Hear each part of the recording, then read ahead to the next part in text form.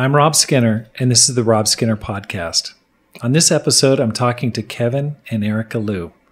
Kevin and Erica Lu have been missionaries to China for seven years. Then they got kicked out of the country and spent two years in Texas waiting to get back into China. They decided to go back on mission on the domestic field in Tucson, Arizona, where they're currently working as full time campus ministers at the University of Arizona. In this episode, I talked to them about their experience in, in China, how they got kicked out, what they experienced there. Erica having a baby in China, not knowing where she was going to be going at 36 weeks of pregnancy. Their time in Texas, and then their time and decision coming to Tucson, and what they're doing and what's working and what's not working at the University of Arizona as they work to revive that campus ministry and make it great. All this and more on the Rob Skinner podcast.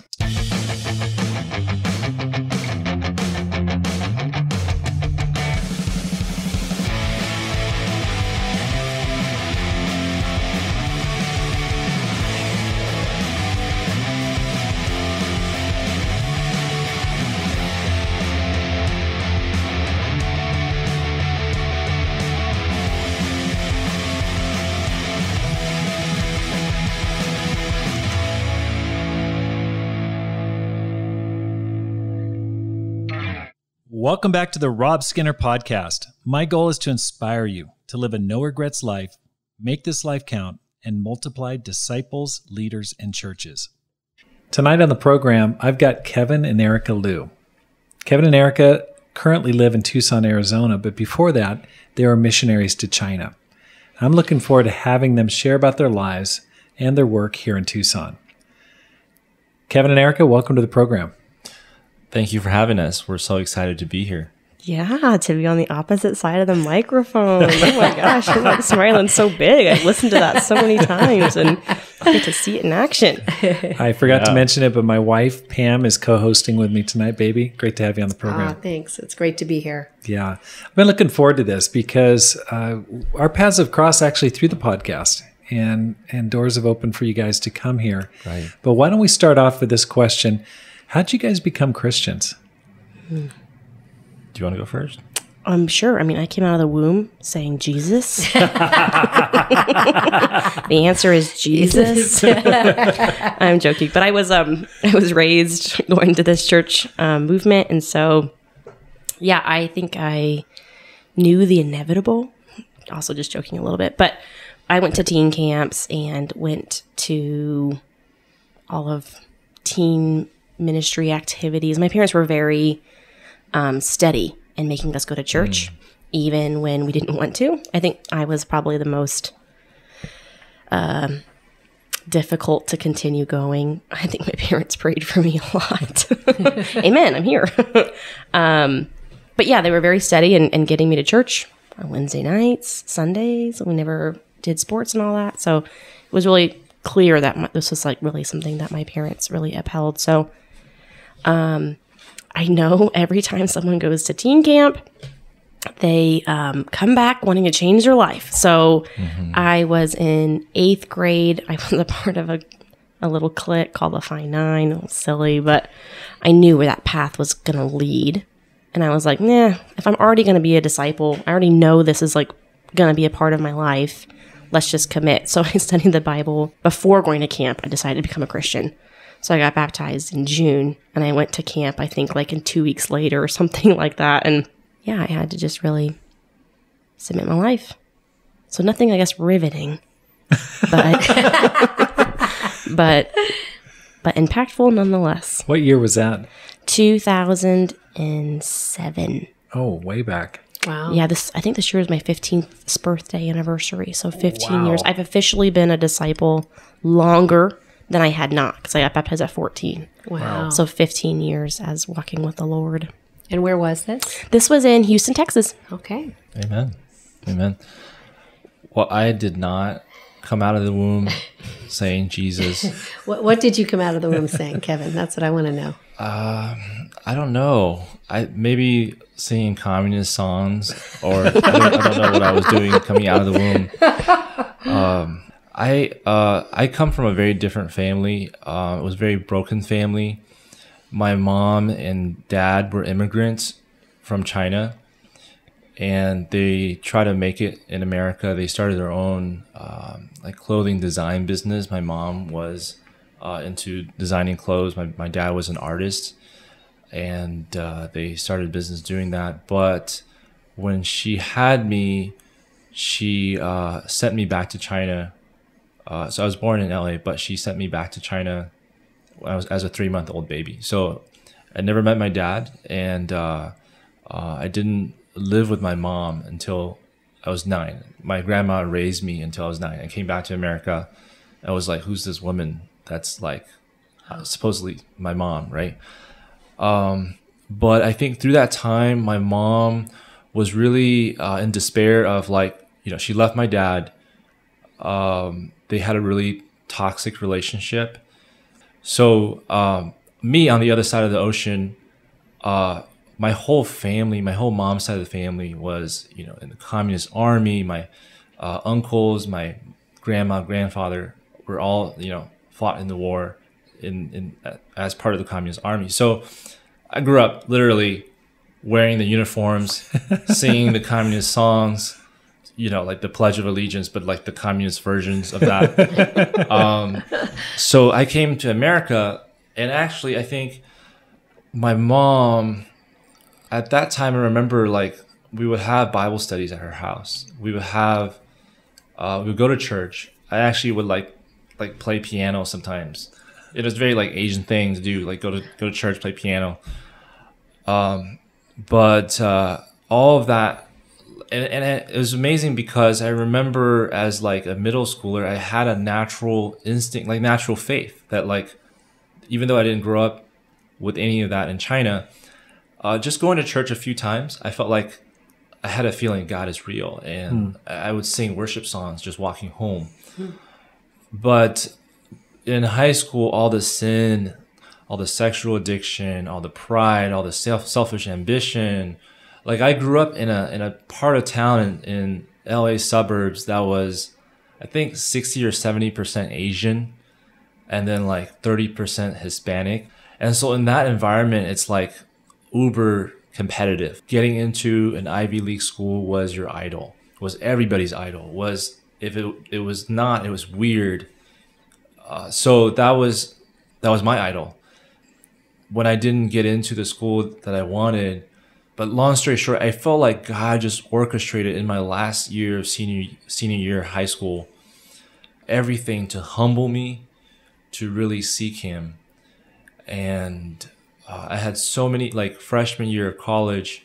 I had so many Christian clubs just come like into my life. They would play board games in my dorm.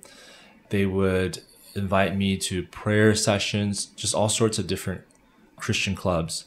I was frustrated because me coming from a no background, no religious background. I mean, I've been to church. I went to church like just a handful of times. Like I could count the number of times I've been to church in, in one hand. You know, throughout middle school and high school, I was interested in learning about the Bible. But as people talked about it, it always I always felt like the outsider. Like I always felt like this is something that you grew up with, and I'm too late to learn about it now that I'm like mm. 18.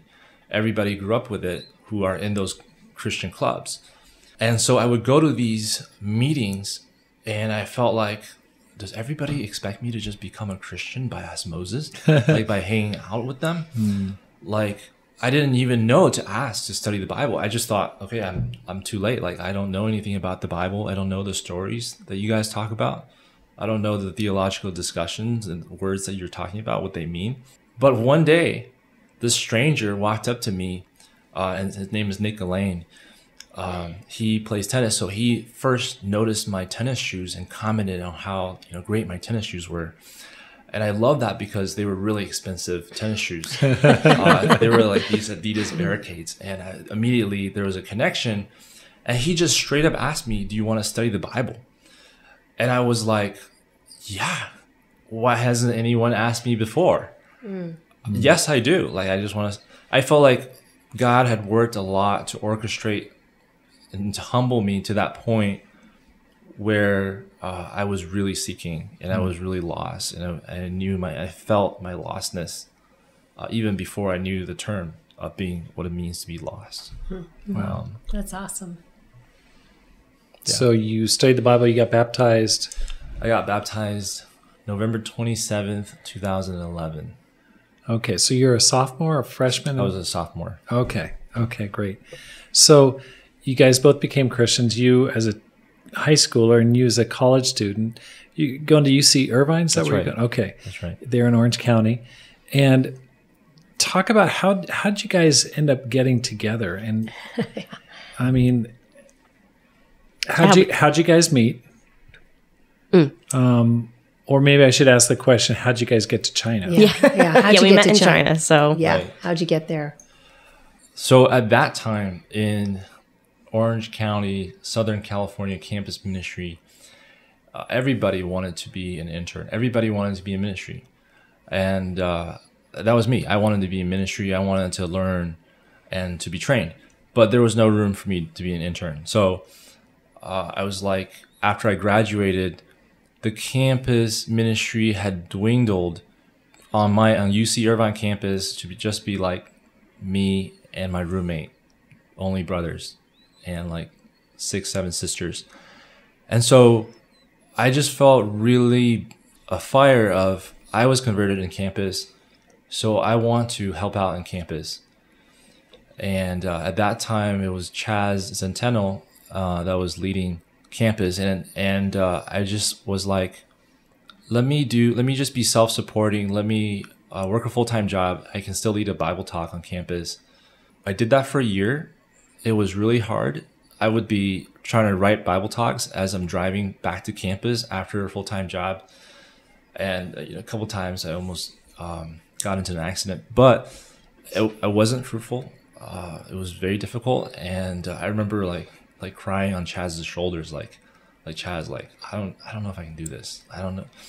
Um, but prior to that, I in my just in my junior year, after being a disciple for about a year, I, I would hear stories of people going to places and doing things and in places like Eastern Europe, the Middle East, and it, it would sound awesome because it felt like they were really relying on God. It felt like God was really doing things through average, normal, everyday people, through a small group of people, disciples.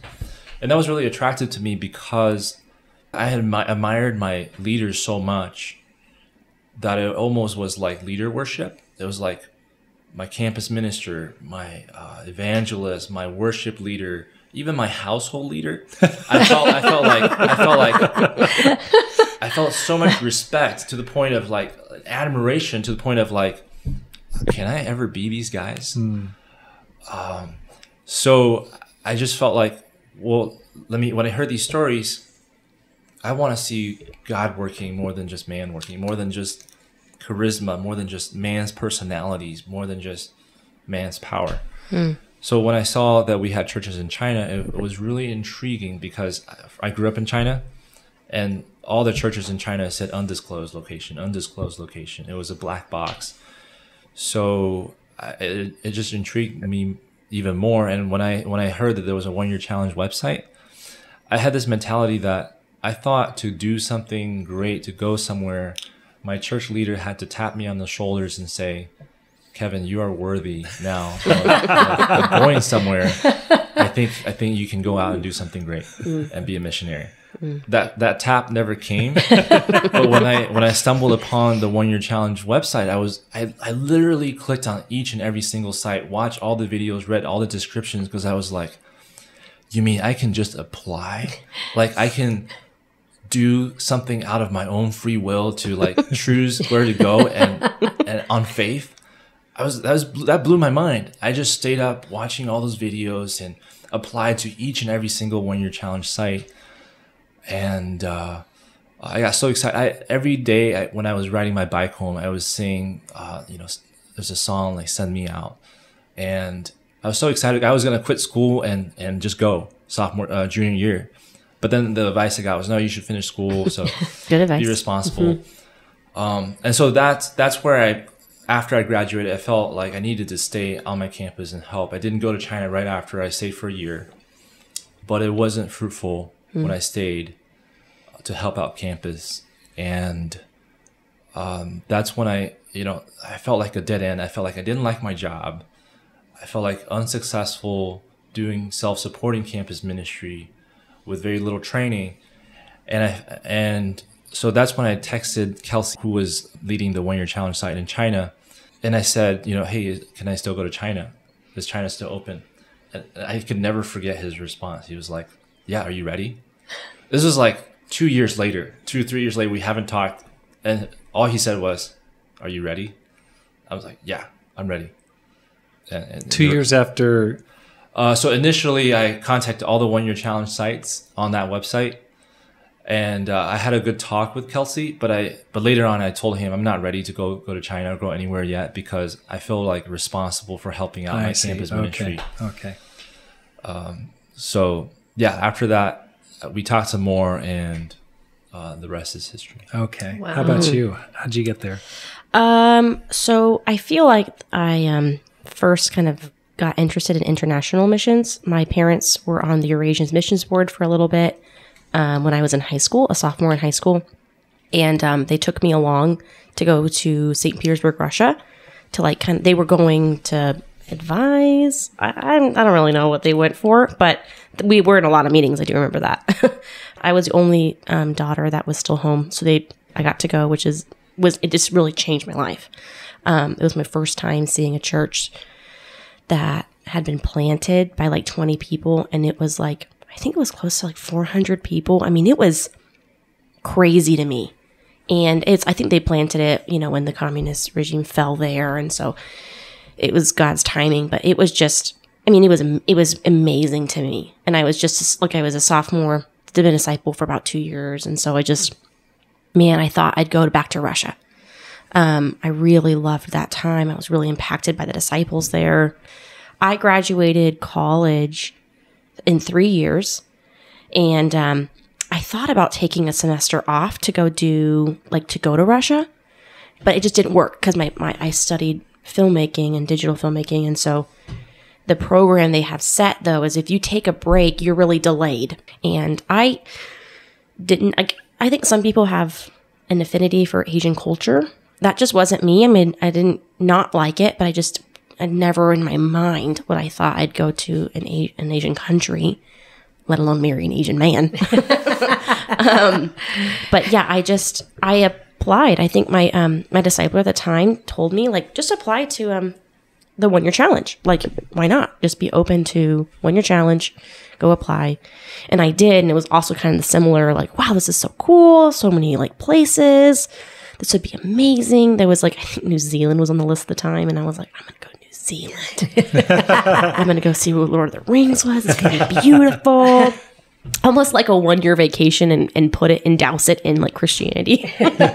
um, it was really exciting though. So I just I applied and um now knowing what I know, I know that they the one year challenge site is run by somebody in China. so whoever applies, they're the first to respond. They're like they they give you a pamphlet. Hey, you you didn't say that you were interested in China, but here's our information anyway. So they were the first to reply to me, and I remember opening that email and telling my mom, "Man, wouldn't it be crazy if I went to China?" and we kind of laughed. We were like, "Ah, it was like her birthday dinner," and we just kind of put it away with the Cheesecake Factory. I was like, "That's silly." And then, um, but they're relentless. I mean, man, Belsey Belsey is really relentless there. So he um they emailed me. And so two sites again I worked for the website for a little bit so I I saw the back of it. And um a lot of a lot of these churches that are on one year challenge site they really need a lot of help. And so they can't always support people. Um, i think when people apply to one year challenge they think like the church can support me they'll pay me. But the reality is churches these they, they can't. I mean they're just they're struggling already and they need people to come help but they need self-supporting people. So um anyway i i was graduating college. I didn't have a job yet. I mean i just i i couldn't like self support myself. Like i didn't have savings to go on if that makes sense. So but in china it was a great situation at that moment because they really wanted English teachers. The jobs, a lot of the English teaching jobs are not so intense where you can't do ministry on the side. Like you can support yourself while you're working there, and the cost of living is low, so you you could tutor even um, and survive on tutoring.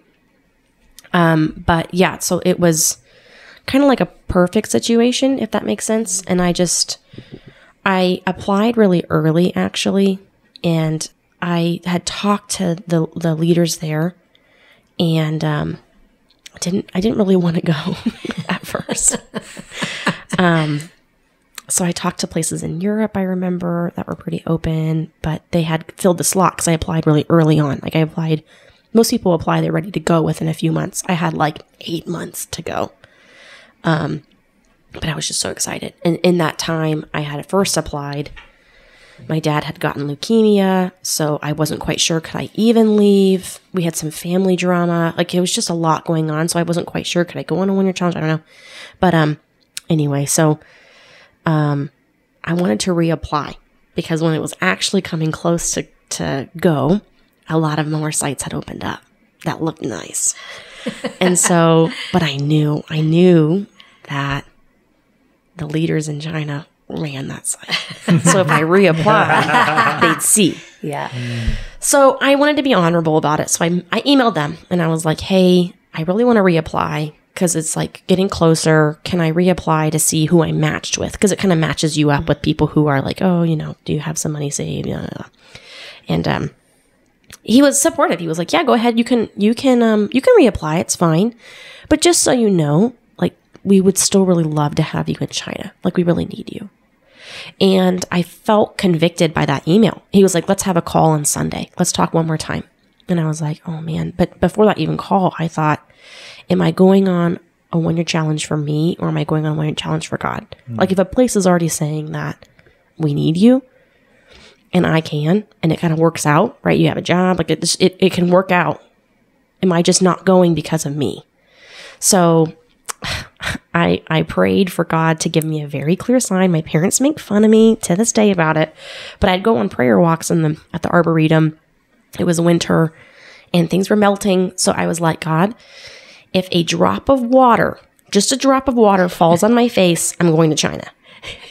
And I go pray. I like pray to the sky, looking up at the trees, like, okay, here you go. Here's a drop of water. Come on. And it didn't happen because I wanted it to happen by Sunday because I had that call. Like, I'm going to tell him on that call if I'm going to reapply or if I'm going to go.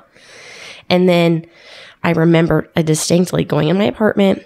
I drank a glass of water and I put it down. And my friend is like, You have a drop of water on your face. And she said those words to me like, not you have some water, you got something on your face. She said, You have a drop of water on your face. And I said, Are you serious? She says, Yeah. And she like kind of looks at me like, What are you talking about? and I'm like, I'm going to China. I'm going to China. I'm going to China. And she was like, What are you talking about? I run to the bathroom, look in the mirror, and sure enough, it was a drop. And I was like, I'm going to China. And like, I think it was so silly. And so I, t- I remember telling my parents that, and they're like, You went to China for a drop of water? I'm like, It's faith. It's faith, y'all. Read it in the Bible. It's a faith move. But, but yeah, so that's, that's basically, that's how I got there. I mean, that's silly. I know, but I love that. it's really how I got there. And, you know, it, when you're there, you just, man, you feel on mission. You feel like you're needed. The, the, like the weight of how many people are lost. It just crushes you almost. I mean, it's, it's impactful. And I mean, in a very sad way. I mean, really, it's very sad. I remember praying multiple times, like weeping, because it's just, it's like almost an impossible mission but you feel like you with the house church mentality and with with the people who you, who go with you you mm-hmm. really feel like we're in this together and god is going to use average people like kevin said i think the average person is just used and it feels like you're spiritually healthy and i got physically healthy there too and so it's just a really great place for me to be Yeah. wow.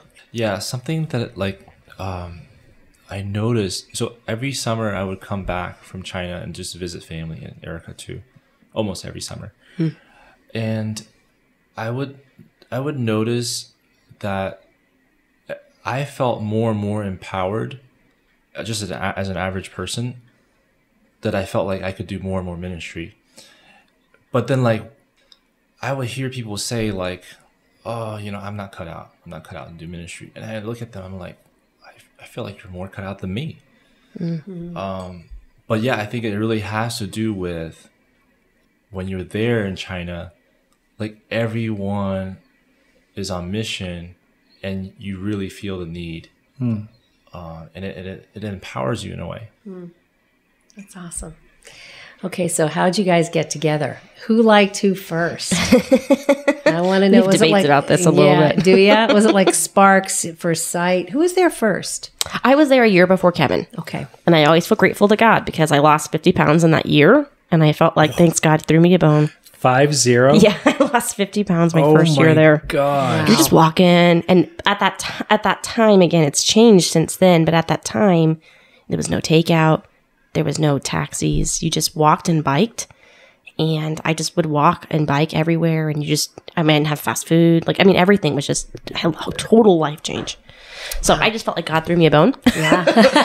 Not that like I think Kevin loves me no matter what, but I felt really good. I felt healthy. I felt good. I felt confident with myself. Like, yeah. So I think it just helped me, and and I got some good discipling. I was nicer. so I was grateful for that year up on Kevin because when Kevin came, I was still kind of mean, but did a little bit better. we met Kevin. I helped pick up Kevin from the train station um, when he came in. I just thought, oh, this is like the new leader's kind of protege, like the, his new favorite. yeah, I but I don't remember our first interaction. I just remember picking him up and being like, "Oh, that's cool." Yeah, it was a group of people, group Mm-hmm. of brothers and sisters who picked me up from the train station, mm-hmm. and you, you were one of them. Mm-hmm. But we didn't really talk. No, The, our first interaction was going to the street food together Mhm, the night market. Yeah, with another sister that came the Mm-hmm. same year for One Year Challenge. And uh, it wasn't love at first sight. no, It was, uh, I actually felt like a little bit like taken aback.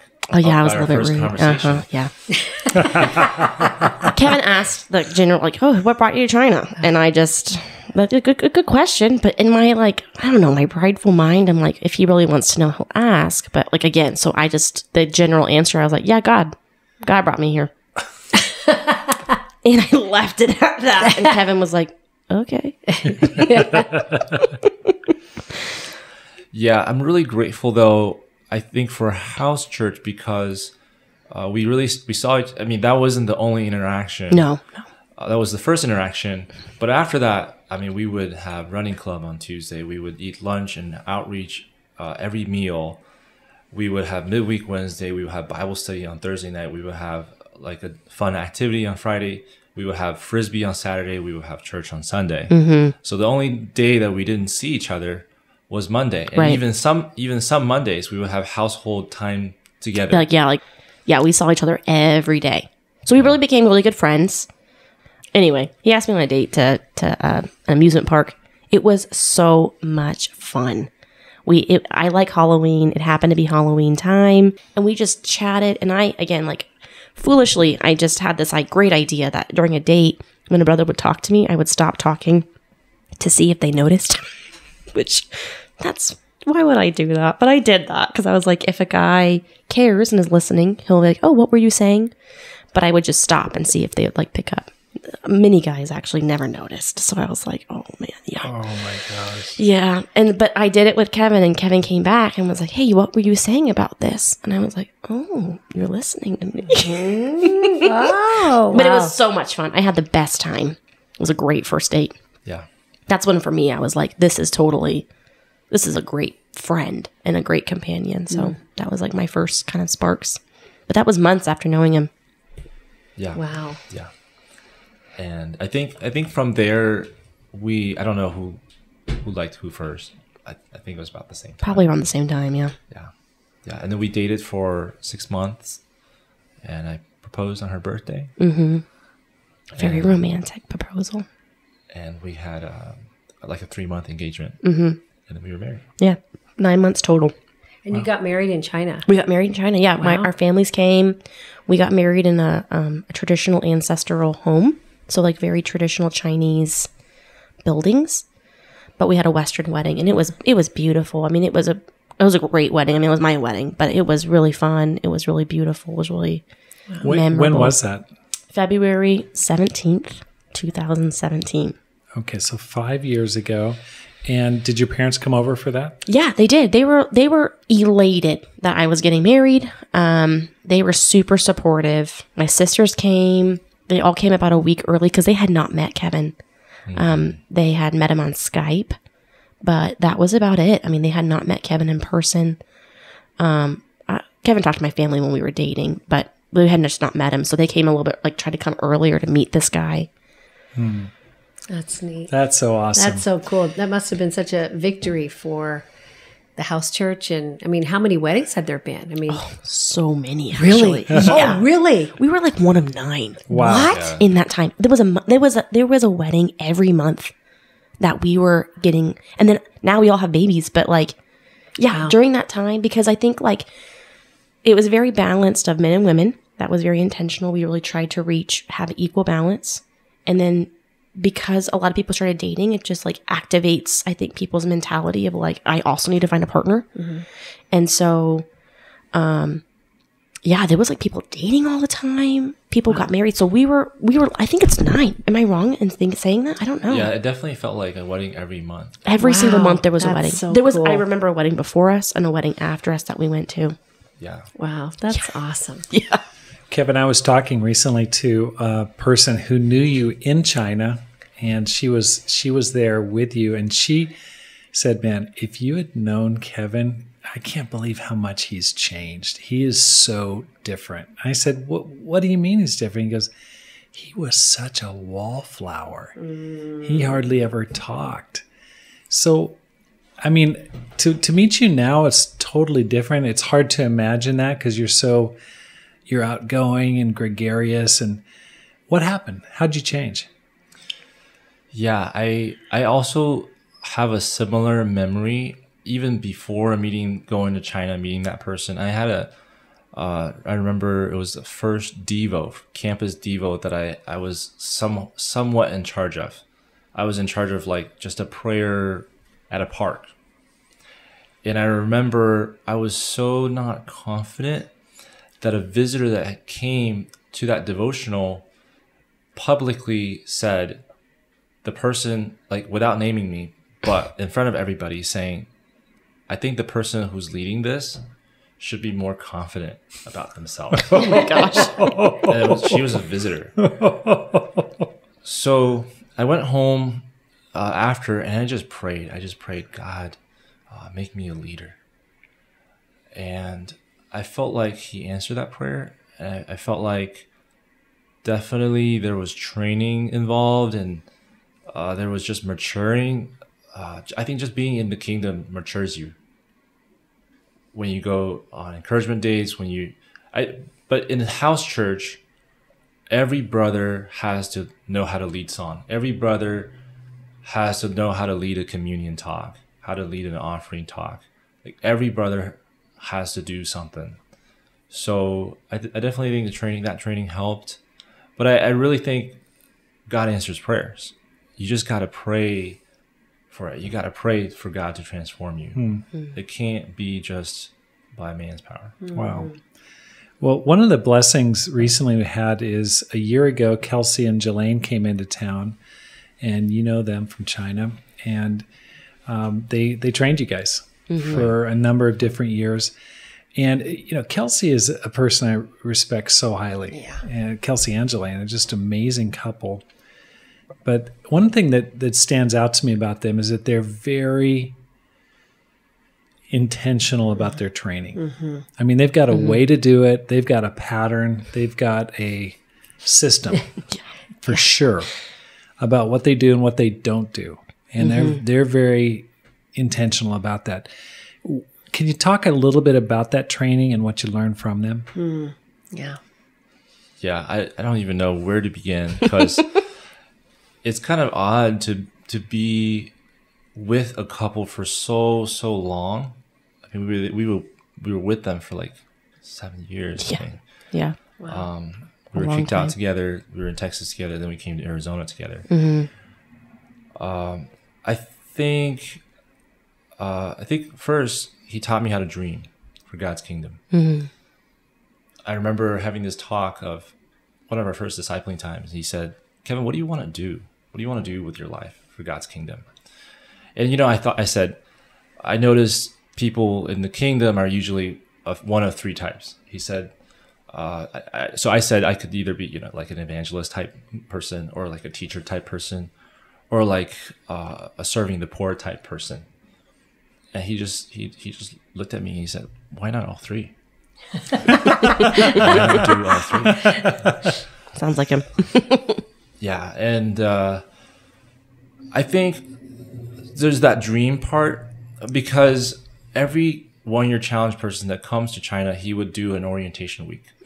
So there was there would be like the fun stuff of exploring the land, learning how to use a chopstick, learning the local restaurants. But then at the end of that orientation week, he would literally show a PowerPoint slide of all the the kinds of people, all the like ethnic ethnical people in China that are unreached. It's a it's a why we're here talk, and it would just slowly play through all these faces of people that are unreached in China, and um, it, he talked a lot about like numbers of ratios of un, unreached peoples versus disciples in certain places. Where are the frontiers? It, not only about China, but also uh, just the world at large. And he talked about like thinking of us as a sending out church. Of if we're if we're able to keep our church small by sending out, we're successful. We're um, just so I think in that way he's given me a conviction about missions and a conviction about what to do with my life. So that's the dream part of it. The practical applic- practical step part of it. Uh, I think he's very good at like stepwise training. I remember because I'm Chinese looking, uh, but also American.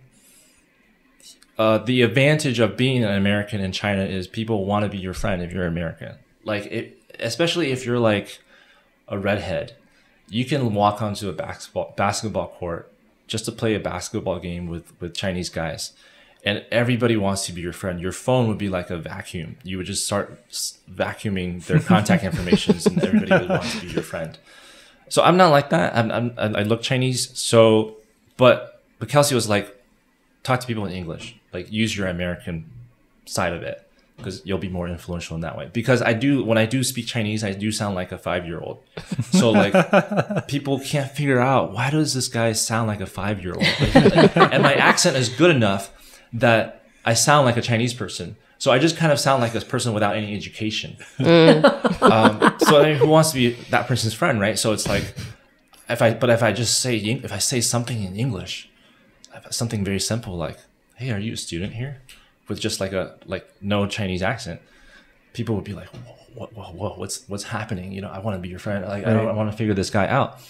But I was so timid in, in doing that because I was like, "This is weird." Like, I look Chinese, I can speak Chinese, but you wanted me to speak English. So Kelsey was saying, "You know what, Kevin? Don't don't even worry about talking to anybody. Just just be in the right place. Go into the canteen and sit there. That's a victory." So I think his training was very step. After like several times of just going into the canteen, I'm like, okay, I need to step out in faith. I need to step out and open my mouth and like make a friend. Um, so it was very like, it was very, um, it was gentle, but it was also firm. Like you need to take action, but he knew that sometimes to reach the next level of your faith of what you think is possible, you need middle ladders, like middle runs on the ladder mm. to get to the next step. That, I mean, that's just like one of the few things. I mean, Yeah.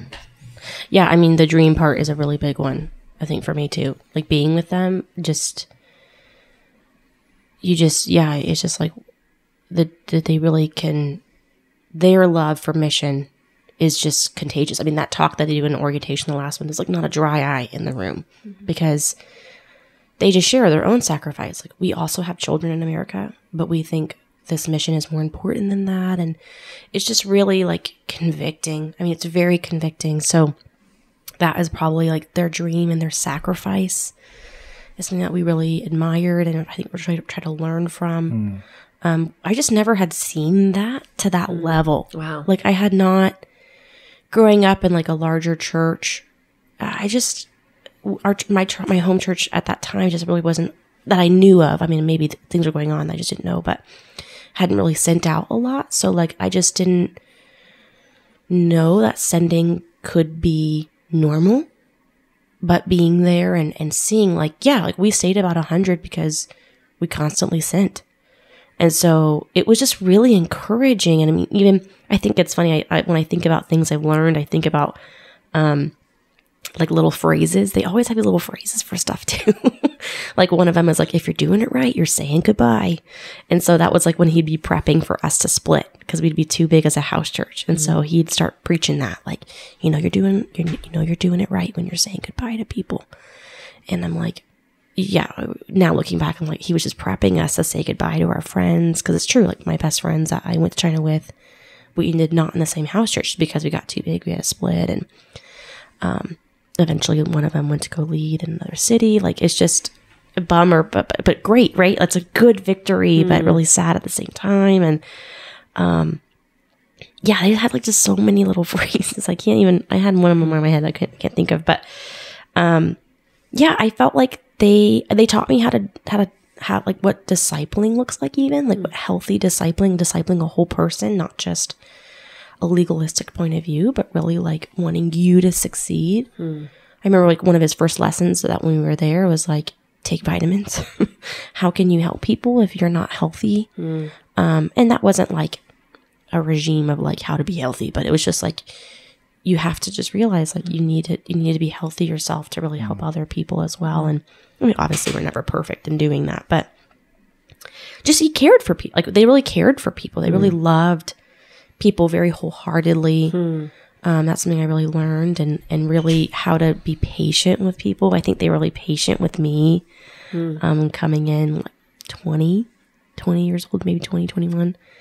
And, um, just being patient with who I was at that time. And I remember being corrected very gently by Jelaine, but crying like three three times. I can remember on her couch crying because she's like, "Hey, you're kind of mean," and so I'm like, "Oh my gosh!" Like, yeah, I just, I mean, she didn't say that those words directly, but just just she discipled me. I mean, she really helped me in my character to grow. Um, but she did it with so much love, and I never. I think Satan would try to get in there and be like, "These people don't really love you," but but I could always talk to her, like just taking it with grace, if that makes sense. Like I don't know, but just really being my friend. I mean, we're we're I'm old enough to be her daughter. I mean, her daughter and I are close at age, but she just loved me anyway. Would be hmm. my friend. So I think that was just what I really learned from them was like being friends, being open, how to how to really be on mission, hmm. how to be healthy, how to love the Bible. I mean, they're really Bible scholars there. We did for our Wednesday nights, they were just for disciples and we did Old Testament surveys, apologetic classes, how to grow your house church, love one another series. Like they did a lot of deep Bible teaching. Hmm. Again, I had never never did that. All I had heard my whole life was topical preaching. They did expository. I mean, they just really were like, if you love God with all your mind and you you would go to school and study, why not just study out some of God's word and know him better? Mm. Why is all that's in the Bible? It's there for a reason. And so and I just yeah, I just oh man, I just been so impacted by that. I really mm. grew in my knowledge of God, really understood the Bible mm. um a lot better and and then that has given me a lot of confidence to give an account to people if like like questions of like where would you turn to if someone asked you this and I, kind of being stopped in my tracks and like I don't I don't know. But now I feel like at years of that, I'm like, yeah, I would turn here. You know, like I just, it just like solidifies my faith, right? Of having more knowledge. Not that, again, that's the only way. I mean, because he would say, could someone uneducated make it to heaven 100%? But why not? If God's given us this, why not just learn more? So, both of them, great stu- students of the Bible. Really, really amazing. I feel like that was just really encouraging to be around. You guys got kicked out of the country. Can you talk a little bit about that experience? Nope, illegal. Just kidding. yeah. So, I uh, I had a service Sunday service where it was a kind of a special Sunday service. There was a holiday called Qingmingjie. It's it's tomb sweeping day where you traditionally would worship your ancestors, but uh, obviously we don't want to do that as Christians. So we would gather the Chinese disciples in a special service and teach them how to not not worship your ancestors, how to not do this holiday the traditional way, but still do it in a way that honors your ancestors. So I went to that service because I looked Chinese, and that Sunday there was about 16 of us, and all the foreign disciples were going to have a separate Sunday service, night service. All the campus disciples went on a retreat somewhere. So it was it was just like us, 16 of us, single young professionals, Chinese service, and we had a knock on the door by uh, people who said we wanted to check your gas for safety issues, and uh, they came in. They as they were walking out, they their eyes were like wide, weren't blinking. They took out their phones, took pictures of us because we had our psalm books and our Bibles and our notebooks out, and uh, this brother was preaching. So I was like, okay, that was weird. They left, and I that should have raised a red flag for us, but it didn't because I think in the past those group of churches we've never in other parts of China things have happened persecutions have happened where it broke out and the people have to leave. But for that for our group of churches in that part of China we never had to had that kind of persecution. We wa- we were always able to get out of it. Like one time we baptized this, this uh, brother in the ocean. There was about like 40 of us, 30, 40 of us just celebrating. And then my roommate was leading the baptism. Preaching. And, like preaching. And then there was police standing right behind him, hearing everything, watching everything. And my, my roommate didn't didn't understand why as he was talking our faces were worried or anxious. He thought maybe he was saying something wrong, but it was just because the police was standing right behind him. But even then, like we would have, we were able to talk the police out of arresting all of us. Um, yeah, my sister was like, yeah, you can't even bring us all in. We're too many people. You got, you're a small city. We're like, yeah, that's right. We can't really like, bring you guys all in. We're not doing anything wrong," and then the police would be like, "Okay, yeah." So very sisters. persuasive, Yeah. you know, sister. But so in that situation, we were like, well, yeah, nothing would happen. Like we, we, we were always able to get out of situations. Uh, but on that Sunday, the the police came. It was about like ten to fifteen policemen came in, took us in vans, and uh, took us to the to the police station. And uh, yeah, uh, so that's what started it Yeah.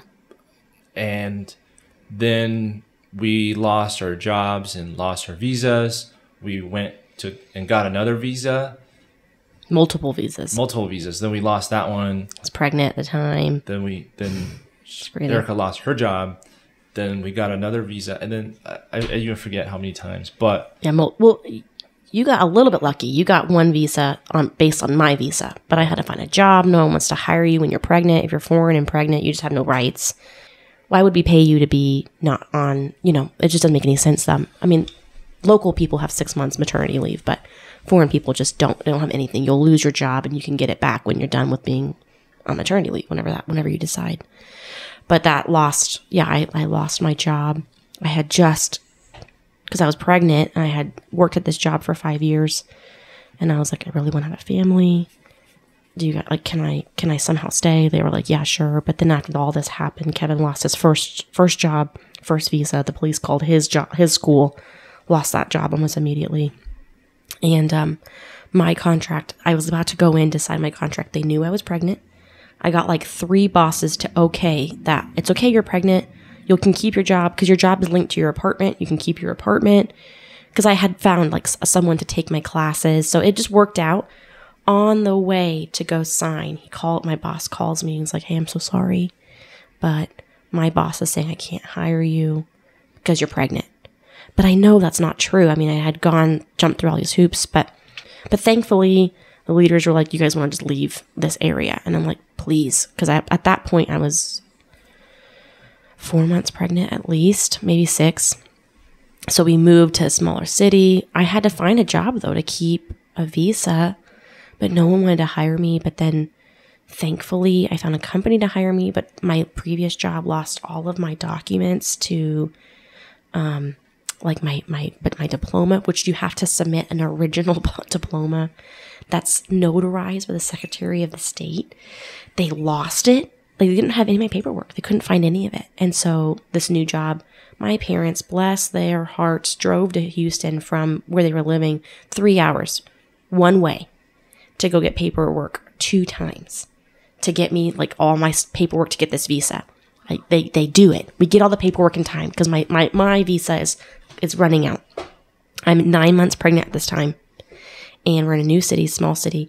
She's like, we just got the paperwork. Let's go get your visa right now. I'm like, yes, amen. We go to the immigration office. We give him my paperwork. At this point, Kevin had already lost, like we lost our jobs. We knew there was some problem, but we were just hopeful because Kevin had gotten a 10 year visa, a spousal visa. So he was able to come and see me, no problem. So I, am the only one now that doesn't have a visa. We go sit down. There's there's a problem on the screen. Woman's like, hmm, this is interesting. Leaves and doesn't come back for a long time. And I'm like starting to sweat because I'm like, this isn't this is abnormal. Something's wrong. Comes back in completely different demeanor. So rude. She's like, you cannot be here. I'm not giving you a visa. And I'm like, what? My, my boss, like the lady who's helping me, is like, what do you mean? What are you talking about? She's like, she can't be here. She's she's not she's not allowed to be here anymore. And my boss is like, like fighting with her a little bit, like, what, what are you saying? Give me information. And then finally, she's like, she's nine months pregnant. What are you talking about? She's like, she can go have her baby in Hong Kong. She can't have her baby here. and I was like, what? Like, and so she's like, why would this happen? I and then I, I worked in this company for 20 years. I've never seen this. So they called us in that night and we told them like, well, you know, months ago, three months ago, two months ago, something like that, we, my husband was in, trying to be the innocent side of it. Like, my husband was Chinese service, didn't really know. And they were like, yeah, you guys, like, you have to leave. You have to leave to have your baby somewhere. And so, um, I got another visa. I went and got a tourist visa. And, but it was only 60 days. So at that point, I, like, it'd be too short. Like I could stay to have my child, but then one more entry on 30 days. So one month postpartum. But then like when does the other visa come in? So we decided to just use the, that visa, like use it up before I had my child. And then Kevin, but Kevin decided I want to try one more time to get a tour, a 10 year tourist visa. Let's go to Hong Kong. At that point, I was 36 weeks pregnant and it was the last chance to get a visa or else I had to fly back because flights won't take me. And so we went to Hong Kong and we sent our passports, I guess illegally, to America to reapply for a visa one more time. With the Chinese consulate in America. Yeah, like hoping that they would be more lenient. Yes, like we could try to get away from it a little bit more. Um, and we called it a baby moon. We're like, let's just go on holiday. Hong Kong really supported us. It was really, it actually was a really good memory. Um, we got the visa. We got a 10 year visa. We didn't know how we felt about it because we just felt like what, what's going to happen. But then, I mean, I had my baby in China. I think God really blessed that decision. It was an incredible experience. I mean, um, at 36 weeks, I found another doctor, a new doctor that would take me in a private hospital in China, and they were just amazing. I mean, it was a really great experience considering what it could have been and my parents came to see the baby and to be there for the birth. And then my Kevin took my sisters came for Christmas. Kevin took them out of the country, quote unquote, to Macau. Technically, it's China, but you have to exit to go see pandas. Ironically, the pandas weren't weren't there that day. they came back in, and Kevin made a joke of like, "Oh, they always pull me aside to question me." So, and sure enough, he was the first one. They pull him aside to go question him. And my family comes back in, and they wait for like 30, 45 minutes and he's not coming back out. They can't find anyone to tell him what's going on. My mom and dad, my sisters don't speak a lick of Chinese. And I think people are, the, the immigration's a little bit lying to them because um, they're like, oh, we don't know. We don't speak, we don't speak English, but they're in the immigration office. Like you have to speak some English there. Um, and finally they call me like, we can't find Kevin. No one knows where he is. And I was like, we just talking about, at that point, my son was, our son was three months old and I couldn't leave because we didn't have a visa for him. And so they call me and they're like, we don't know where he is. No one's telling us anything. Um, and I was like, you make a scene. Like they need to tell you. I mean, they can't just disappear somebody. What does that even mean? Like, I, I, cause I had call advice. I'm like, what do I, what do I tell my parents? Like, you make a scene, get an answer. So finally, they made, they kind of pitched a fit, and they, one guy came over. He's like, oh, I know that guy. He's not, he's not coming back. And then I was like, what does that mean? Like, like postpartum, like still super hormonal, like, oh my gosh, like totally had a panic attack. Um, but Kevin calls me. He's like, I'm in Macau. They released me. It's fine. Like they took some stuff. They, but they rejected his visa at the border because it's a valid visa for 10 years, but they just like completely canceled it. They stamped canceled on his visa and he's out. That was the first indication that like this is real. Like we cannot get back in again because we had just tried. I mean, we, I think there was a piece of us that just kind of felt we can always get another visa. We can always get back in. Like we'll just keep trying. We'll just keep fighting this. Because again, we personally had not seen this kind of persecution, like follow through. We've seen threats, we've seen calls, but we had not seen follow through like this, organized follow through. So, um, yeah, that was like a really good indication. So, in about 21 days after that, I had to quickly get a visa, an exit visa for my baby. But I had to go to the immigration office again because I had to tell him I'm still here. I have a baby now, and needs a visa. I got fined. I was questioned for a little while. It was very scary, but I mean, it was very gentle because, again, a nursing mother. I'm nursing in their in their waiting room, and um, yeah, I sold. It gave us some time because I knew if I exited, I would not be able to enter too. Because they, when Kevin was questioned, because he did not mention in that detainment, that first detainment, they were detained for nine hours, and him and two other brothers were questioned. And in that questioning, Kevin, they showed Kevin a picture of me and Kevin, and Kelsey and Jelaine together. I'm like, oh, you know these people. And then we're and we're labeled. So they knew. They knew what we were doing. I mean, they started having a file on us. So we kind of just it just all kind of came to fruition. So we knew that my time was coming up too. But it gave me enough time to sell everything in our house, give everything away.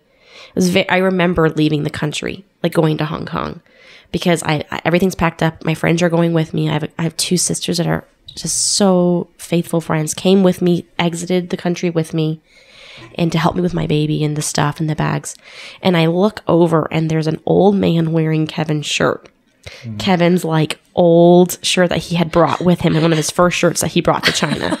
because I'd given away so much stuff. And finally I was like, I can give away some of these ugly shirts. like we had a, only had a couple suitcases left. But yeah, there was an old guy wearing an old Chinese man, like hogging a loogie in the side, but wearing Kevin's shirt.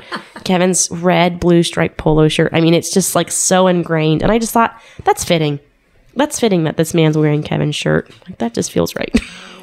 Gosh, that's intense. Sorry. Kevin, how did you feel when you're getting detained for nine hours? I mean, weren't, weren't you afraid? So I was afraid mainly for the local disciples because I had been told. I mean, the worst thing that can happen to me is getting kicked out.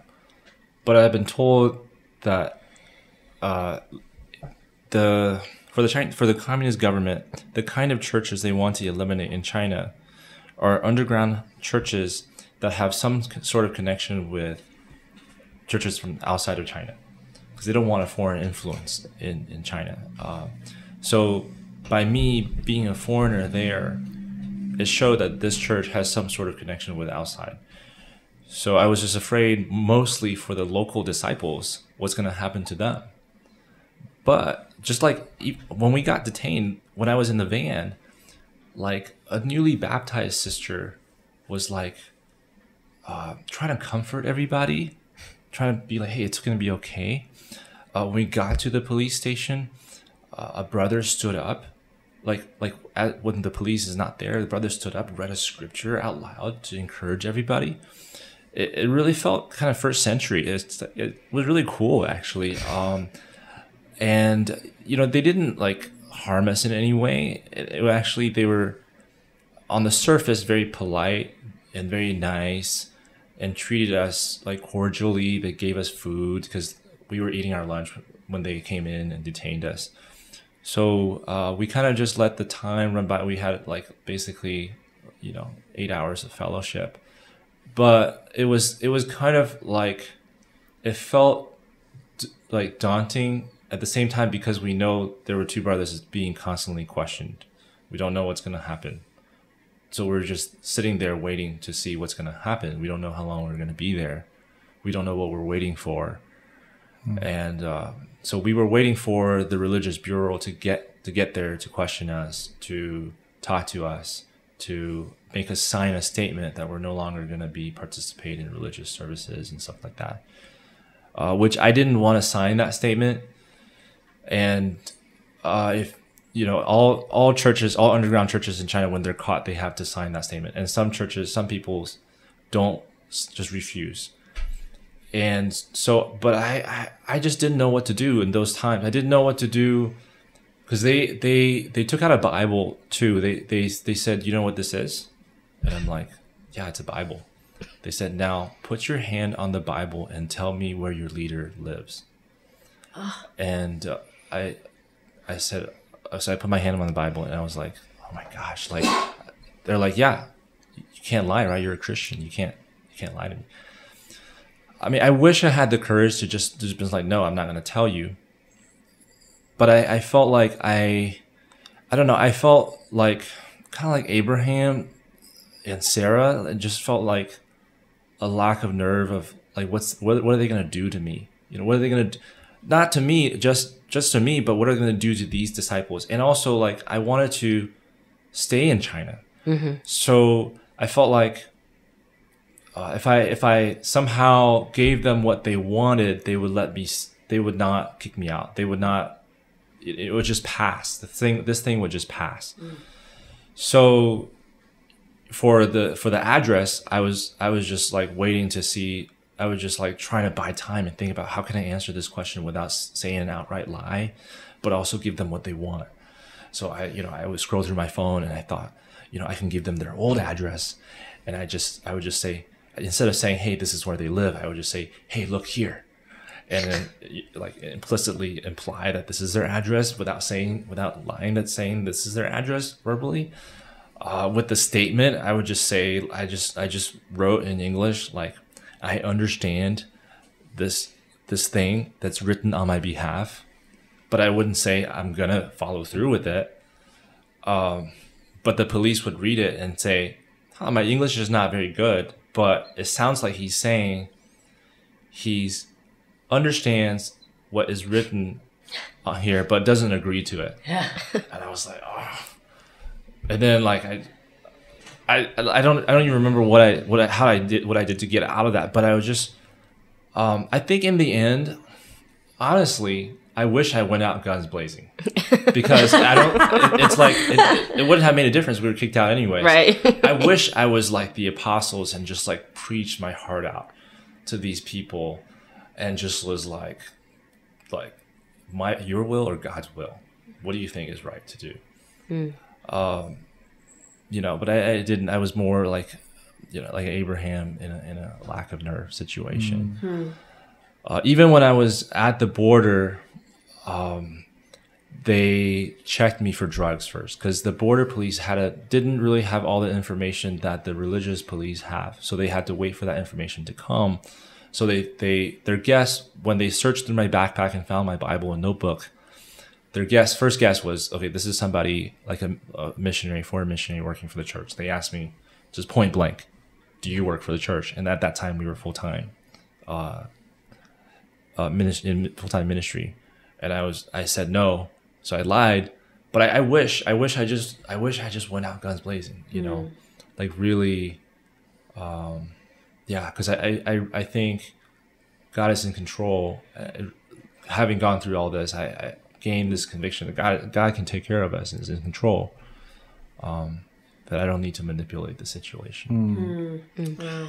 So you left the country. You ended up in Tucson for a year, or not Tucson, but Texas mm-hmm. for a couple years during COVID. Mm-hmm. And then you chose to come to Tucson. Why'd you come to Tucson? The Rob Skinner podcast. Yeah. Uh, So at the time we came back, we lived with our with my in laws, with Erica's parents. They had a nice casita. They they lent us their car indefinitely. We decided to buy an RV because we we definitely desperately needed our own space. I was working for Amazon, just packing packages uh, and sorting packages. And the one thing that like really propelled me forward other than the bible and spiritual books because uh, even though you're not supposed to really like have have ear- earbuds on when you're working at Amazon packing, but every everybody was doing it, and, and it really actually helped me to keep my spirits up. And and then I stumbled on your podcast, and it was just every day at Amazon, like you're uh, working ten hour shifts for four days. So I'm listening to your podcast, like for like a good part of that ten hours of the day and uh, I don't know, hearing these stories of people that, um, like they had lows in their life, they had trouble in their life, they, but they, they still kept the dream alive. It uh, it really encouraged us. Yeah, yeah. For me, like when we got to Texas, I just I feel like I tanked a little bit. I mean, hopeful at first. We kept saying like, "Oh, in two or three months we'll go back," or "In two three months we can figure it out." Two more months later, and yeah, I just tanked. I like just did really bad. I um got kind of depressed. I just just didn't know what God was doing. I didn't understand His purpose. Like, what? What's the point? Why are we like? Because then COVID happened, right? So like, we're kicked out. Can't stay around the country because COVID shut everything down. Come back to America, everything shuts down again. We have no close relationships there. My parents are like discipling us, which I mean, bless their hearts, but that's that's hard. I mean, you know, like, and we, I think I remember my dad coming in the room and being like, "Hey, like, it's really sad to got to see you guys hang on so tightly to this dream that's just not happening right now." And I just start crying. Like, what am I supposed to do? Like, what do I do? Because this is all like we we planned on being there for 15 years. I mean, we thought when our kids are in high school, we'll come back. And so just like that being shattered, it was really difficult for us. And then I think mm. for me to like just no no friendships. Mm. And the is just a few sisters there that really tried, but again it was COVID. So like mm. It's tough. it was just it was just like no one's meeting together. I think it would have been different if like everyone was meeting on Sundays and mm-hmm. Wednesdays and I could get to know people better. But like this was just locked down, so like I just saw my family and it was again it was fine in the beginning, but just got really really lonely and really really difficult. So I just and then I got pregnant by accident, and to me like I just thought this is another like either I'm going to have another pregnancy that's just up in the air because again I didn't have a doctor until 36 weeks who I knew was going to deliver. That was really difficult for me for my first pregnancy. I did not want to do that again. Hmm. I wanted a different experience. But then Kevin, I think when I was like three months pregnant, he's like, "Let's go to Hong Kong." I'm like, Kevin, I don't, I don't want to. Like, please, like, let's just. I was just begging us to like settle, but Kevin wasn't ready to settle either, and the art. The RV was my idea, and at first he was really against it. But then I think because it, we could move it and we could put it in storage and, and quickly go back, that was like what sold it. And then um, like sold the idea and so i just i just really really struggled so i got pregnant and got really sick when i was pregnant so just like miserable every time i open the, the the rv door i'd throw up every time i exited i'd throw up i mean i was just throwing up constantly kevin's like cleaning up so much throw up i just was not in a good place mentally and so kevin coming back and like listening to the podcast i mean that was for at first to be totally honest i was like i don't care like can you just can you just be quiet for a little bit? I never said that. but I'm like, can we please just like live our life? Like, can we just s- stay somewhere and just not, can we please just, just embrace Texas? I wanted him to find a job in Texas. I wanted us to get a house in Texas. Like, let's just, let's just put roots. Let's just be done with this.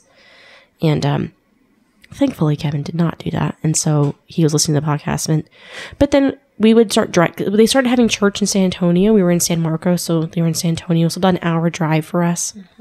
In that hour drive, Kevin's like, "Let's listen to a podcast," and we listened to your podcast. And um, he'd make me, and so it was good. I mean, it was good for me though. I, I, I mean, Frank and Erica Kim's was also very memorable. I think Erica shared. She really asked Frank to pray for her, and I was like, "Did you hear that, Kevin?" you need to pray for your wife to have a dream. You know, like these little these little snippets. I remember crying with Kevin about listening to Lynn Greens. I mean, that was really impactful for us because they played in Hong Kong. I mean, they're like great, like founding fathers of China, right? Spiritually speaking, for our movement, and we cried in that podcast together. I mean, we just have a lot of memories. I think really positive memories listening to this podcast, which is silly, I guess, now that we're here, but um, but not really. I mean, they're really great. We really appreciated it. I mean, Yeah. it really kept us just someone is dreaming and someone's doing okay, you know? like it's not us, but someone is. and but but on your podcast it said um you said we're planning Flagstaff because Right. Kevin and I started talking like we need to go somewhere that is open to new ideas. I think we just felt we wanted to be used, and we, I think knowing what a mission team is like, mm-hmm. we know like Small house on a, on a, church. well, now on a planting, everybody has a role. Everybody's being used in some way. Everyone's mm. signing up to go. I mean, like it's just like you're signing. Like every, it's a different mentality. Right. So we were like, let's see where mission teams are in America right now. We can't go to China. I, we don't really want to like leave the country. Where can we go in, in America? And there was none. I mean, Flagstaff was the only one being planted. And your podcast was like, if you want to come for three months, we'll take it. And again, at that time, we were not ready to commit to being anywhere. So that was really encouraging for us to hear. Because I think when when people move into a ministry, if you want to leave in three months, I think people are like, okay, enjoy your stay but they don't know how to use you. And I, I totally sympathize with that. So we're coming in Texas and we're very vocal about wanting to go back to China. People are asking us, like, consider staying.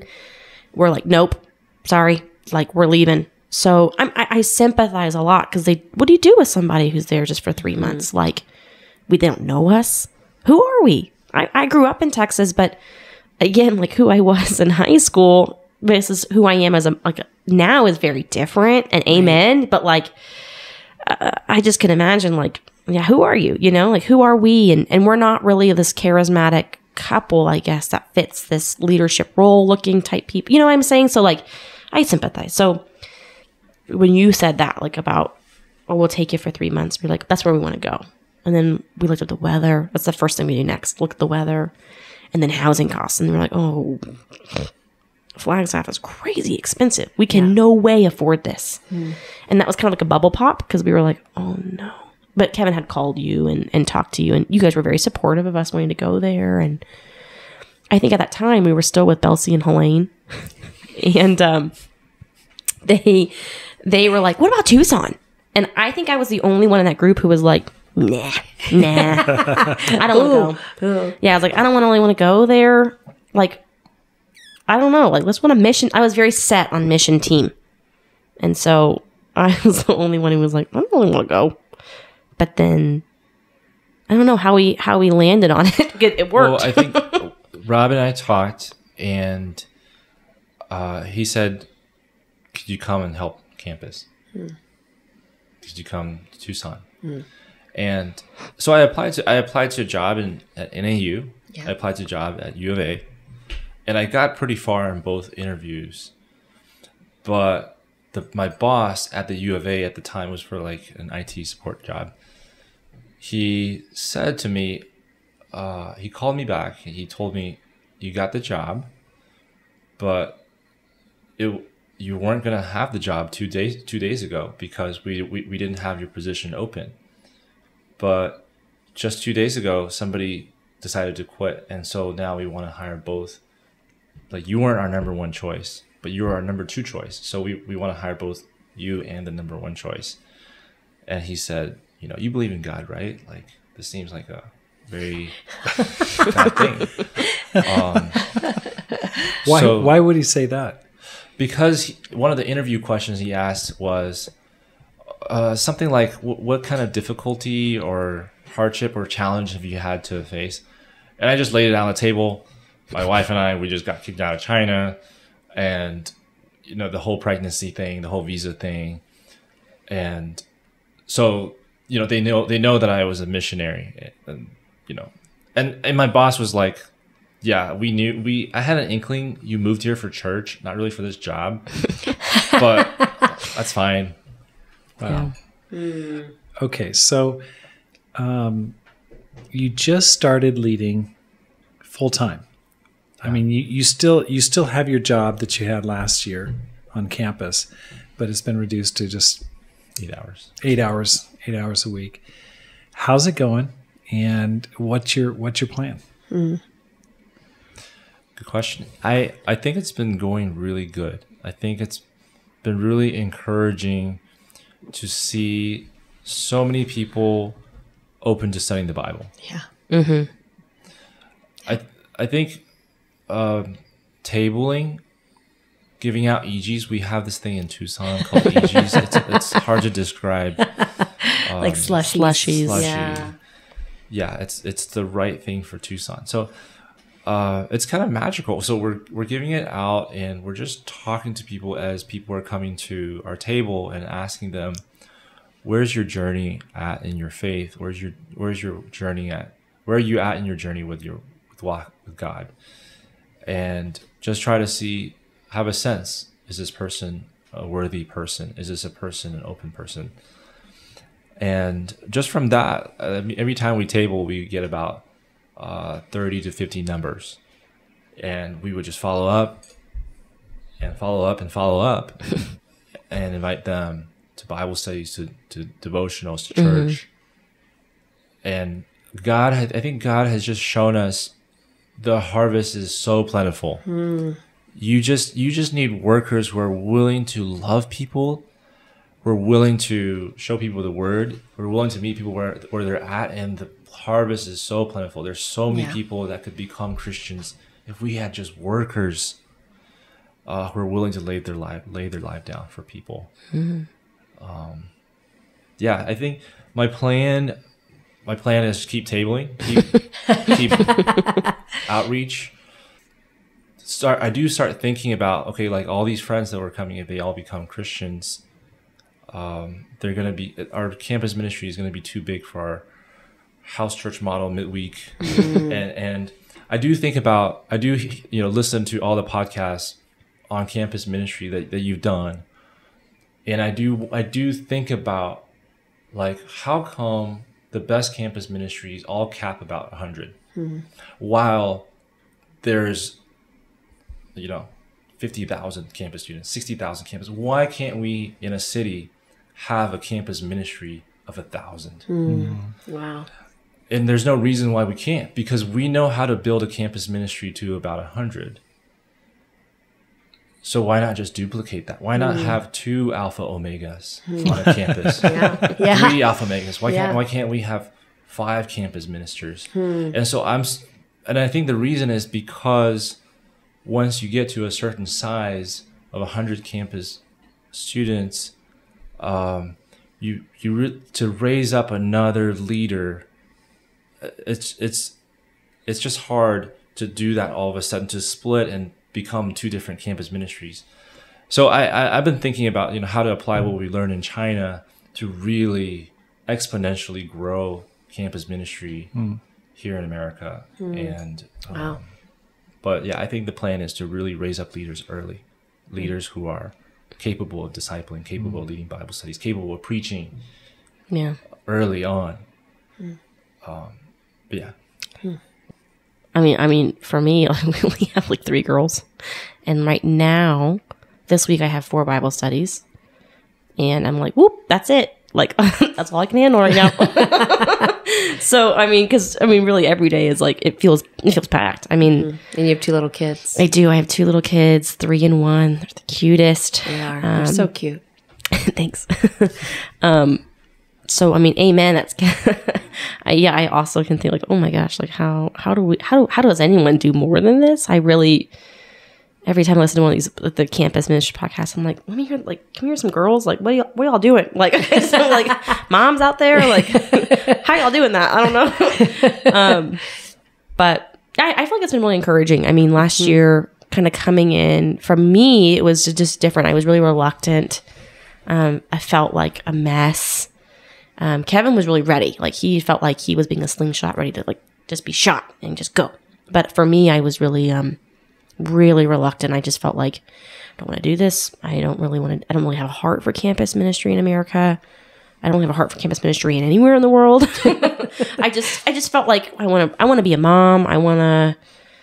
I want to meet mom friends and I want to playtimes and just really do outreach that way. So it was hard for me to reconcile this. Um, but um, I think because last year we only had two girls, three, I guess, with an intern, and um, it was pretty like easy, if that makes sense. Like it wasn't very demanding of me at that mo- at that time. We had one Bible study, one one disciple, and one intern for women. Yeah. So it was. I felt like for me that was what I needed. Like I just needed a very soft, soft start, and um, it was good. I mean, it was good. It was encouraging. And then that sis- that girl said the Bible got baptized, and um, now she's a part of our ministry this year. And and I feel like this year we had a lot of people move away or graduate or something, and so it just feels like I don't know, like it's like like we have some foundation here because last year we really just took our time. We tried to do it the China way. To be honest, we tried just making just pure friends and just doing it just the China way.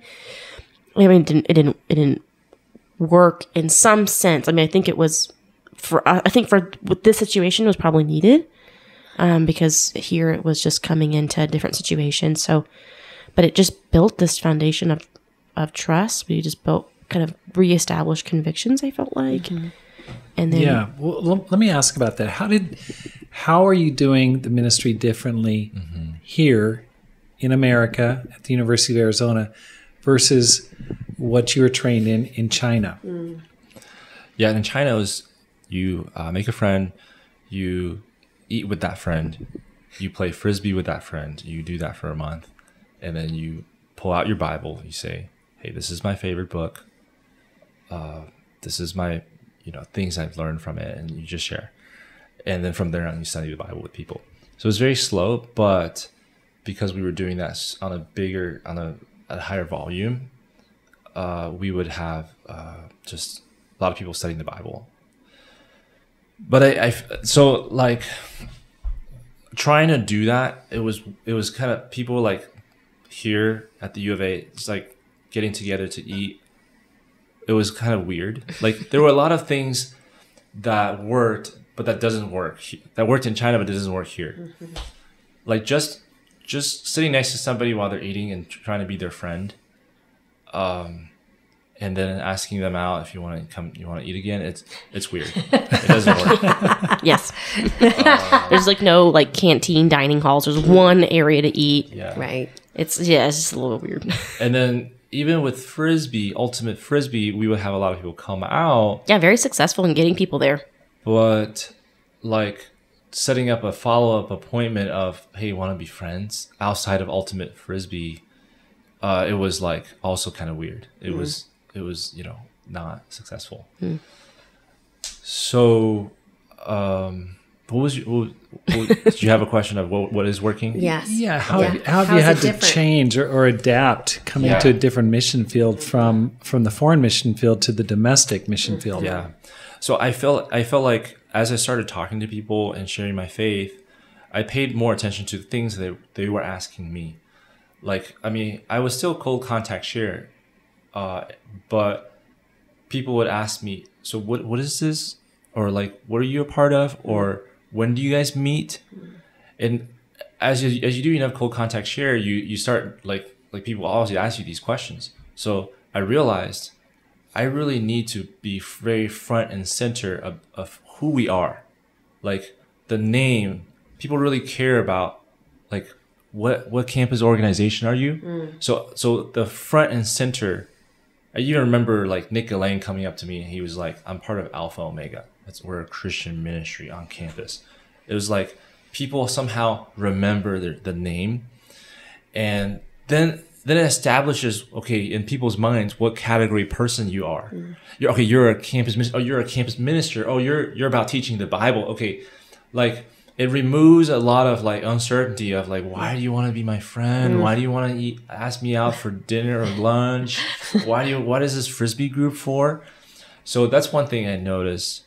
Um, two. Th- second thing I noticed has been effective is uh, asking people out for coffee. So I don't. I think I, I don't really like coffee, um, but I started noticing this. I, I I kind of attribute it to different things. I attribute it to just uh, hearing people do it and the campus ministers do it. I I oh my wife doing it. Yeah, The, one, one, one, one I day, like, one like, day, so Will Lambert in San Antonio, he does this. He, you know, when he helps someone get become a Christian, he posts on his Facebook page like the process of how it happened. And it was actually very helpful because when I read it, I go, okay, wow, it's like like implicit training here. Like he says, I did this, or like this person, we did this first. We we went out for coffee first, then we had a Bible study. And I was like, okay, let me try that. Let me try asking people out for coffee. And I, I haven't had a person say no to me when I just ask them out for coffee. So um, I, I think f- coming back from China and doing the ministry China way, I felt a lack, like when I did it the China way, it didn't work. I felt a lack of confidence whether I can really be influential in these people's lives.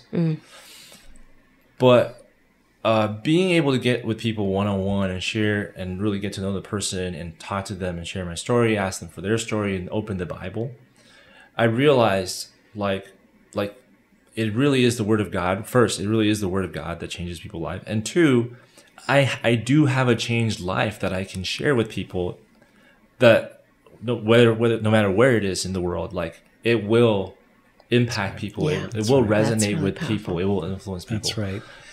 Yeah. You, you had you came coming out of COVID. The campus ministry here was weak, and I would guess it's it's impacted. I know from talking to people, it's impacted campus ministries across the country. But it, the campus ministry here was small.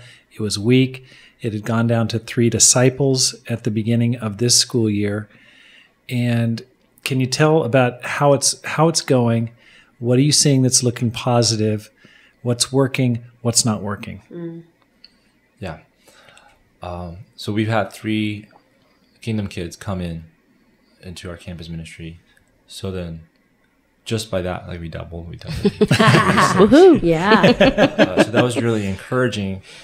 Um, I think, like, so that for that part, teen recruiting is uh, is kind of important. It, it, I kind of got inspired by the way that University of Arizona, our football coach, was trying to recruit people onto the team. So I was like, okay, I, we need to do a good job of also recruiting Kingdom kids to come into our campus ministry, especially when it's small. It makes a big difference when Yeah. you have uh, numbers. So um, I think just from uh, at, at WDS, I talked to Kyle Plum, and he said, "Dude, Kevin, it's not rocket science. you got you just gotta share your faith, and you just gotta set up appointments with people. You just gotta treat it like a full time job, like eight to five, Share, share, share. You're gonna find open people, and I don't know. Somehow that talk, it just like it blew my mind and simplified things in a way where I'm like, okay, well, that's that's sound, that just like simplified it. That just made it super streamlined for me. I, I just need to do that.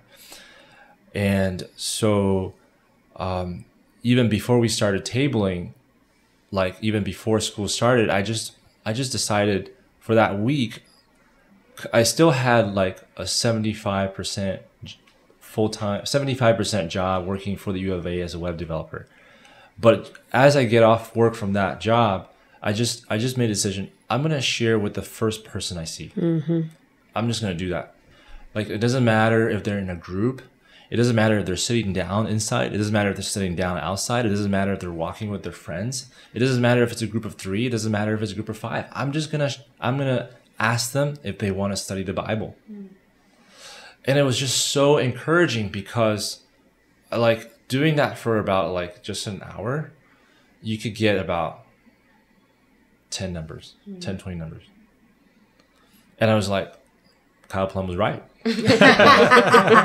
um, and so uh, I think from that, from that, and from tabling, uh, we've gotten probably like uh, like five, six guys studying the Bible, two, three girls studying the Bible, um, and then this past Sunday, one, one of the one of the guys was baptized Amen. and it was really encouraging because we it felt like we have a pipeline of guys because as soon as that guy was baptized two other guys that came on that sunday said to each other hey we want to get baptized like and people started we would we would uh, in tucson church we would do these um, cards where people would write down uh, contact cards and say like what, your name, your email, your phone, and what's your next step. What you what should you what should we pray about for you if you want to pray for and like people would write down I want to get baptized. Yeah. awesome.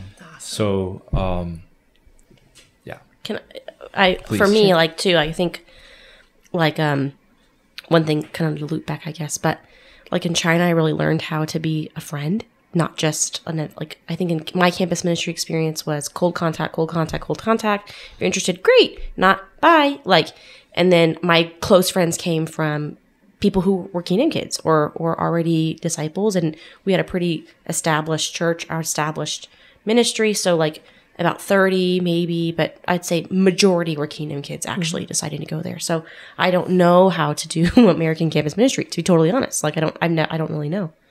Um, but in China, they really teach you how to like persevere because you're investing in someone for a month, and it's it's hard when they say no because it's not just an investment of like but you really love that person after a while. You've right. spent so much time with them. Right. You go running together. I hate running, but I went running for them. we play frisbee. Mm-hmm. They're at my house. Like there's a real investment there of love. Mm. And so if they choose to walk away, which a lot of them do, it's really hard. But mm-hmm. that really really taught me how to like persevere with people and like not be afraid of someone who's not really open right away. Mm. Um so for me, I feel like translating that here, I just learned how to be quote unquote normal. Like I mm-hmm. can make a friend without having this expectation of like, yeah, if you don't come to church, you're not my friend anymore. Mm-hmm. But it's it's just a healthier like I want to influence you because my life should be different. Mm-hmm. My life is different. And so I feel like that made a huge difference even with my last year. I really pour I feel like I try to pour into people because that's what we learned. Is just pour into people, showing sh- like bringing them into your life. And so for us, it just really was helpful to kind of tie this China to, to America because, like, if you're studying the Bible with somebody and they're coming to church Wednesday and studying, but all you're seeing them is just all of these spiritual talks, like, you need another, you need to be their friend too. like, right. just going running or just coming over to my house and having having that coffee date or not just that first initial one but like how can you still be my friend? Right. my parents are generous. They gave me a membership to the zoo with my with my kids but i can bring some with me to the zoo. Mm-hmm. So the amount of girls i brought to the zoo in the past couple of years is kind of a lot actually but it's like my go-to now. I'm like hey you want to go to the zoo? And they're like yeah. I'm like yeah okay let's go. It's small but it's fun. Yeah. so i think like that was that's been helpful for me is like how do i just be friends with people Yeah. And I think that's something that we really want to try to like teach people too of like, yeah, there's a side of campus ministry that is cold contact. We can't ignore that, right? The amount of people we meet cold contact, it's just night and day for us because the amount of people I'm having Bible studies with this year is so different. I think part of it is because our cold contact sharing. Right. But then, okay, if you don't love that, okay, but are you friends? Like, Right. we need friends. We need to be a light to the world. We need to really love people. Yeah. Like, are we really loving people? And then loving them enough to love their soul because, like, Right. there's also that fear, right? You love someone if you want, if they say no to church, but Yeah. you can't shove it, but like, you can't shove down their throat of like church. But at the same time, you can't just give it up. Right. You can't just let it go and be like, oh, they're not interested anymore. Like you have to just continue like touching back to this of like, if you're friends enough, you should be able to say, have you really thought about this? Or like just taking, like looking for those chances that God's working in their life that you can be in step with the spirit with, I feel like. Yeah. Sorry, this is kind of a side note. No, that's so good. All right, I got to ask you guys, where do you see yourself in five years? In which part of Tucson are you going to be buying a house in five Oh, no. years? Woo, woo, woo! This No. is tough because you guys know. are our, Uh, bosses. Yeah, I think this past summer we we wanted we started a dream again for foreign missions, and we can't go back to China because uh, we're probably on a blacklist somewhere. So it's this is actually this question came from your your interview with with Lynn Green because when they decided to go to Hong Kong, Scott Scott asked themselves the question, uh, "What's the most radical thing we could do with our lives?"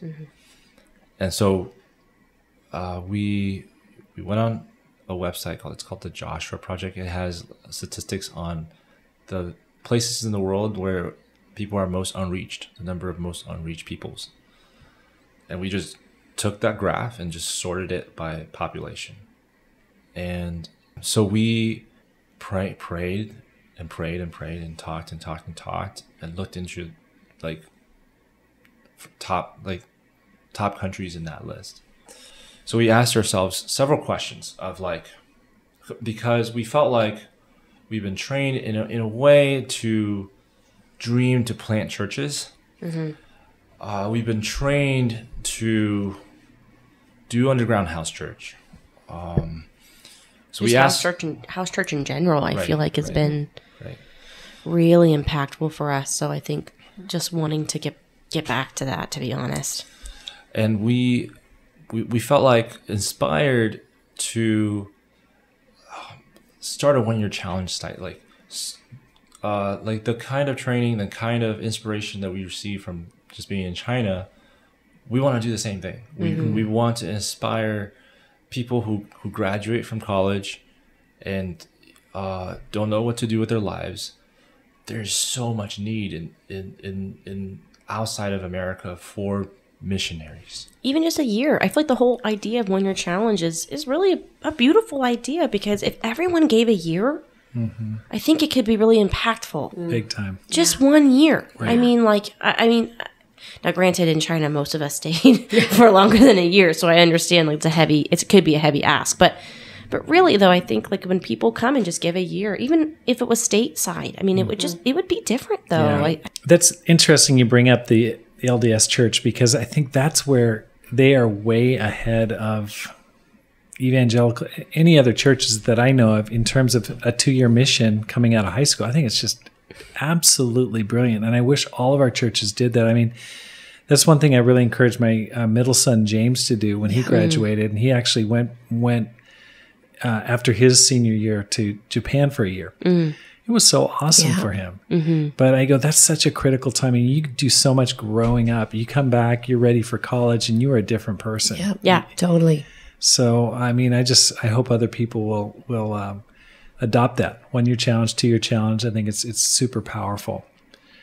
Um, so you were talking about where you want to be in five years. right you didn't get specific. So where where are we talking? So, I, you know, we asked ourselves, what's a country where people can come and be missionaries?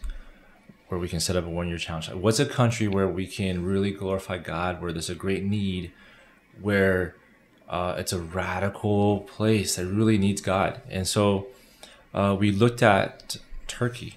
We looked at how it's a Muslim country and it really needs missionaries.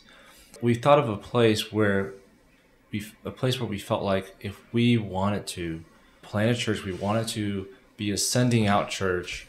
Where where will we plant roots to do that? And I mean, just east of Turkey, you got Iraq, Iran, you got Syria, you got Uzbekistan, Kazakhstan, Pakistan. You got all the stands. Yeah. Um, and I just go, I just dream of just Turkish missionaries. I just dream for that area of the world. I, I just go, I, I, I personally need a dream that I would die for, that I would, that I could see my pouring out everything, pouring out the rest of my life for. And, um, and so I, I, I just think about that and That's awesome.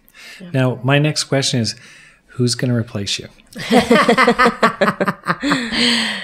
question of the hour. but the question was in five years, honey. that was the question. Well, the people that are going to replace us are are the listeners, the listeners of the Rob Skinner podcast. if you are thinking of campus ministry, please consider Tucson, Arizona. That's right. Well, what advice would you guys give to those who want to make this life count?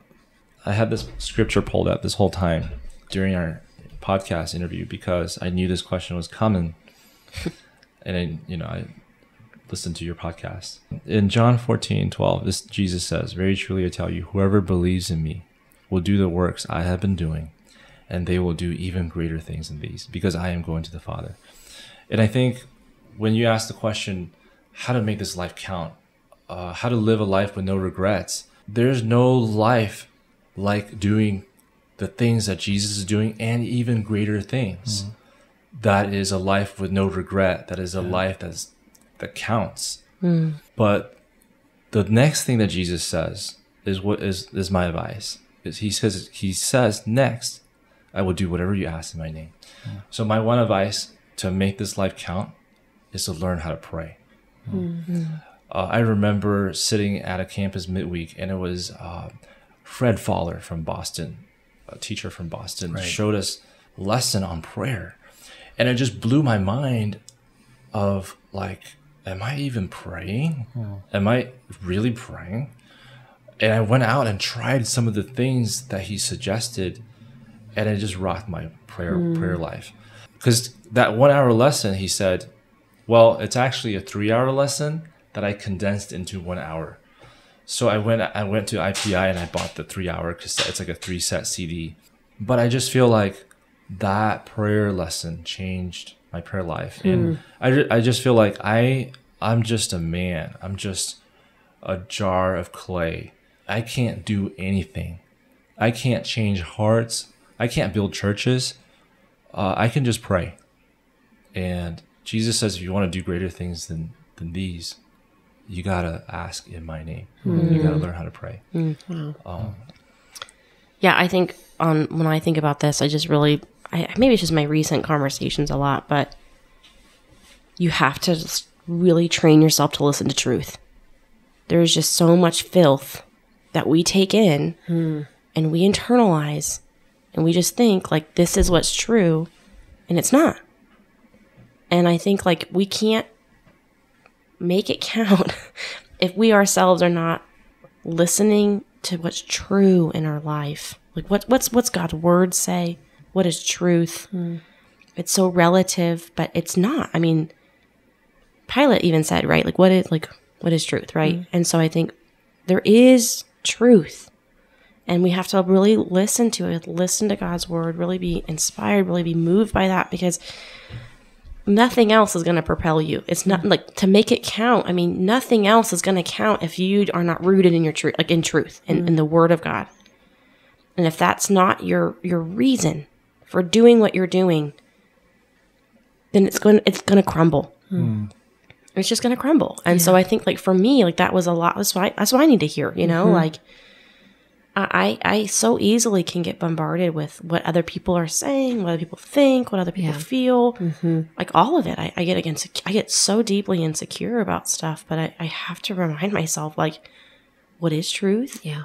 Am I listening to that more than I'm listening to other people? I mean, I, hmm. but I feel like just making our life count. If I'm going to make my personal life count, I have to live it for God, and I have to know why I'm doing this. Because like even the idea of going abroad again when kevin brought it up to me i'm like no.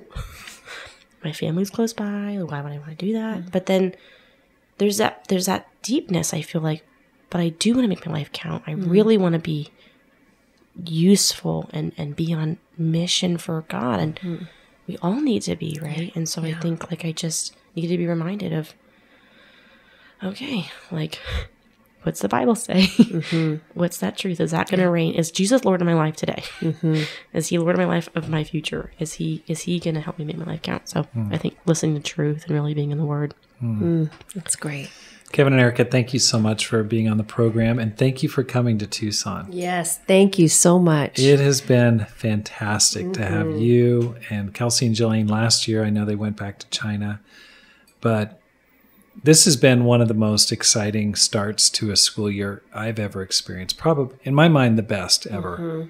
I mean, I'm just so hopeful and so um, pumped up when I see what God is doing in the ministry here. It's it's thrilling to see it growing, to see the excitement building. You can just tell the Spirit is really working.